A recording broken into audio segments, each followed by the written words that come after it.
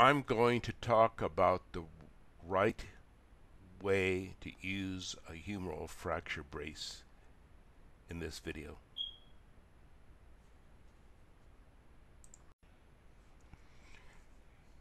We designed this fracture brace in 1976. We published an article about it in JBJS in January of 1982. The participants in the study were Vert Mooney, myself, George Balfour, George Irons, an orthotist, and Milt Ashby, department chairman. Fracture bracing of the humerus is not all that new. There was a papyrus discovered from about 1600 BC that describes a linen dressing, not all that different from this humeral fracture brace.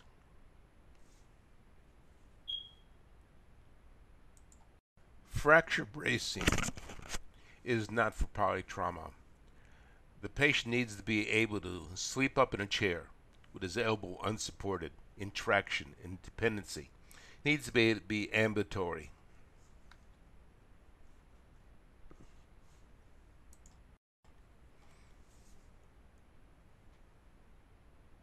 Many, if not most, complications of treatment of the humerus shaft are iatrogenic.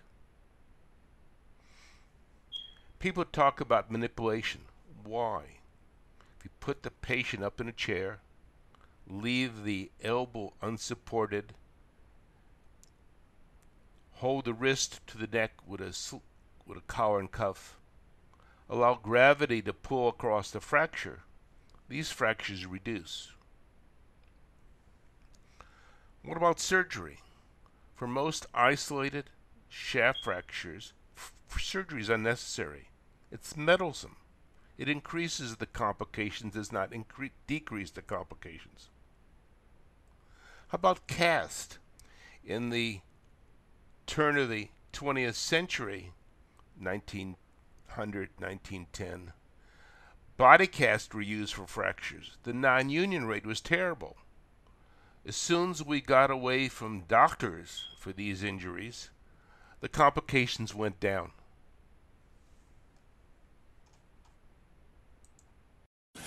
All right.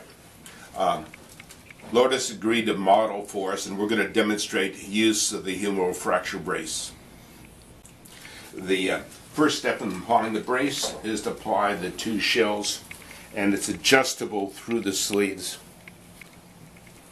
Depending upon which company you buy your brace from, it'll have elastic or non-elastic straps. The, the idea is to have the two shells snug, which will give compression to the fracture and will add some stability. I'm going to emphasize several times that the whole goal of fracture bracing is to facilitate extra exercises, and it's with exercises that help heal, heal these fractures. The package insert on the humeral fracture brace shows the sling as a simple loop. That's wrong. When we designed this brace 40 years ago, one of the designers was a prosthetist. The idea for this sling is taken from upper extremity prosthetics. When you pin the cross of the sling, it makes a figure of eight. We pin it here.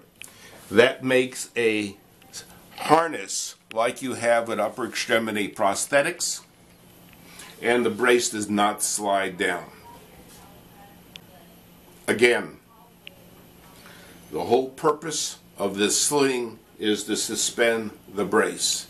It only works when it goes from back to front through the X, axilla, the opposite armpit, crosses the back and goes to the front and is pinned at the center. If you make a simple loop, it's worthless. It's a harness type sling. It's important to note that fracture bracing is really ambulatory traction. You suspend the wrist from the neck. That creates a weight. The fracture, forearm, hand, and wrist gives you traction if you're sitting up. If you're standing or sitting up in a recliner and the elbow is unsupported, the fracture is really in traction. A envelope sling which supports the forearm defeats defeats the treatment method. Absolutely do not put a pillow under the elbow. Absolutely do not use a sling. Suspend the wrist from a collar and cuff. There are three typical deformities. If the fracture is bowed anteriorly, you increase the elbow flexion and that bowing will disappear. If the deformity is the other way, you drop the arm and that other bowing will correct. The most common deformity, however, is varus. The best way to correct varus is to markedly pronate the wrist, and that'll correct varus. The best one way to correct varus is to pronate the wrist. The best way to pronate the wrist in an ambulatory patient is to put a brace on, canvas wrist brace, attach the sling through a safety pin in such a way that as the arm hangs, it tends to rotate into pronation, and that'll correct the varus. Fracture bracing is all about exercises. The fracture brace really facilitates exercise. Non unions are caused by the failure to exercise. There are two exercises that are worth doing. Simple shoulder pendulum exercises, shoulder circles, to prevent stiffness. If you go back in the old literature, shoulder stiffness was a huge problem, mostly because nobody ranged the shoulder. Biceps curls increase the blood flow around the fracture, which is where the fractures heal. So dynamic elbow flexion or even isometric elbow biceps exercises will promote healing. Bracing is all about the exercises. There are two exercises you want to get your patient to do. Bend over. Exercise one. Exercise one is simple. Codman exercises at the shoulder, which will prevent shoulder stiffness and will promote early healing. Exercise two is active biceps flexion exercises. Early, when these fractures are fresh, they hurt a bit. Many of our patients saw two, three physicians in the first day or two because of pain. That pain is generally gone within four or five days. The patients are then able to actively tension, isometric exercise their biceps. The patients that did best did their exercises aggressively. I recall one patient who came in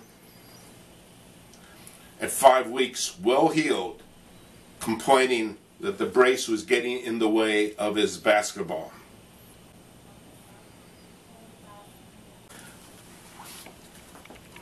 How do you know when your patient is healed? When the patient can do this, reach up over her head, that fracture is healed. It's a clinical diagnosis. When the patient is adequately healed to do high five, they're healed.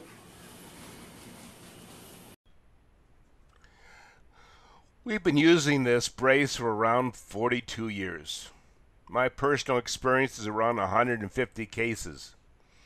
We've had zero, zero non unions, zero infections, no significant clinical deformities, none. We had only one delayed union, and that lady took three months to unite.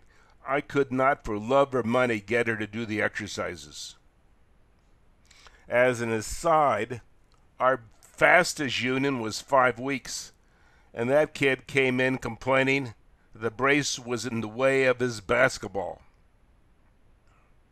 We had two refractures. One guy fell off a brick wall. He was up on a six foot wall and fell off.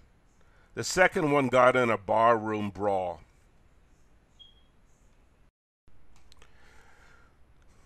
Try treating your patients' humeral shaft fractures with a brace.